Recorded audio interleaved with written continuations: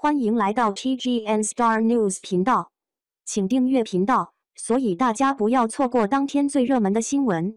我们今天的时事通讯包括以下内容：看到王一博续约勇闯天涯，感觉回归街舞的可能性很大，粉丝期待。街舞是一种充满活力和个性的舞蹈形式，也是年轻人中非常流行的一种文化。王一博作为街舞的代表人物之一，他的回归对于街舞圈来说是一个备受关注的话题。最近，王一博续约勇闯天涯，让不少人猜测他是否会回到街舞舞台。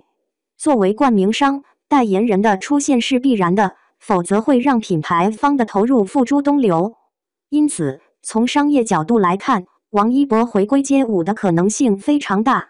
除了商业因素，王一博本身也具备回归街舞的条件。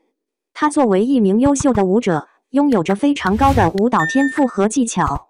他的舞蹈风格独具特色，魅力四射，深受年轻人的喜爱。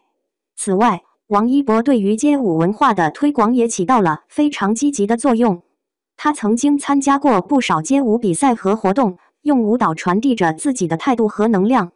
王一博的电影《热烈》也将于七月二十八日上映。这部电影讲述了一群热爱街舞的年轻人的故事，王一博饰演的正是其中的主角。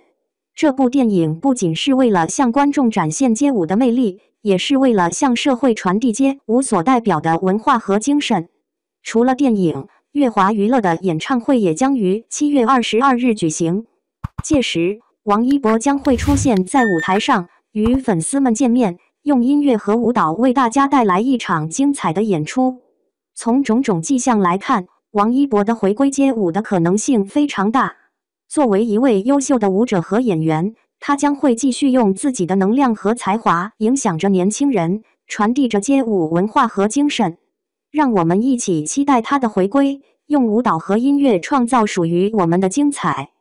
感谢您观看视频，请订阅我们的频道以支持我们。